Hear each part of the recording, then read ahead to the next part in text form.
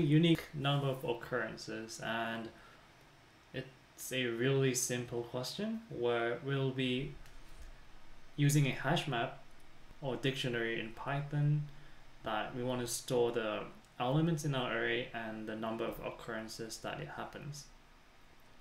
So first we'll use a hash map and then we want to pass the hash map's value um, through a set.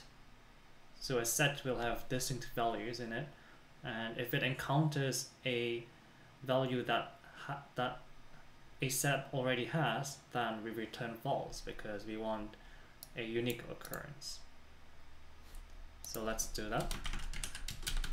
So whenever we want to store like two kind of values, like if we want to store an element and an occurrence or some kind of like two-way data, then hash map is the um, optimal data structure.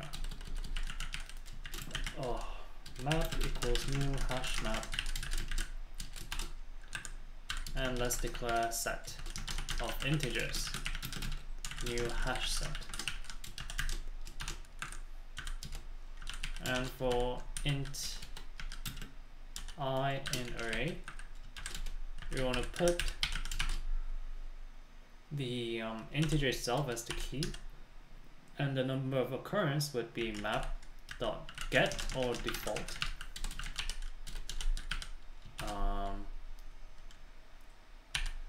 I else 0 and we do a plus 1 because we want to give it a a default value of 1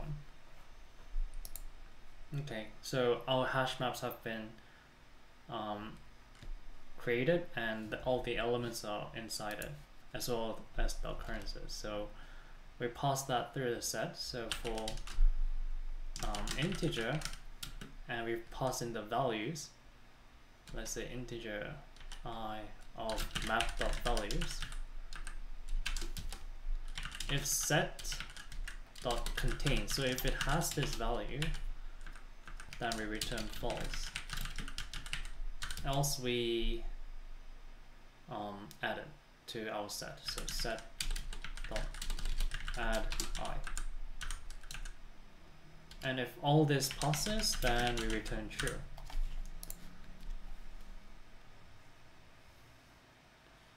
Uh, parentheses, because it's a method. Mm -hmm. So this is a simple example. And I'll see you guys next time. Bye.